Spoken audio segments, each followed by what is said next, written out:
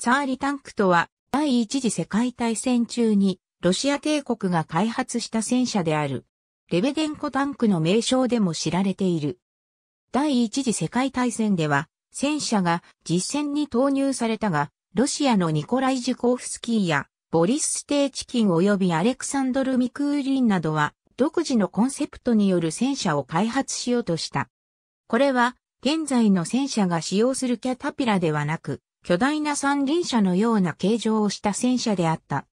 すなわち、直径9メートルのスポーク車輪2つを前輪にし、後輪は操作性をつけるために高さ1.5メートルのスポークホイールをつけていた。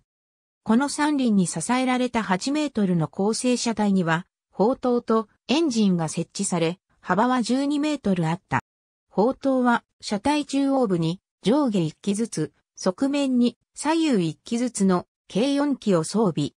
エンジンは中央部上下の砲塔を挟んで左右に置かれていて、ギアを介して巨大な前輪を駆動させた。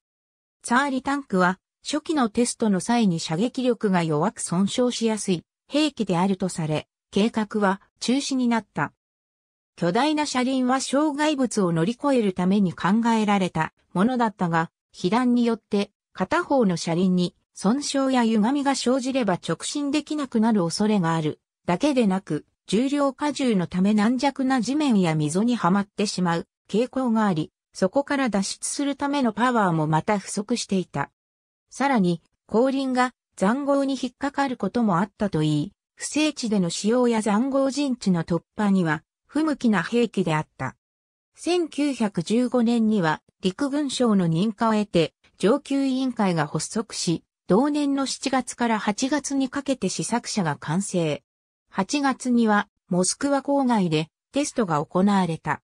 しかしそのテストは大失敗に終わり、陸軍の倉庫にしまわれていた車両は1923年にスクラップとなった。ありがとうございます。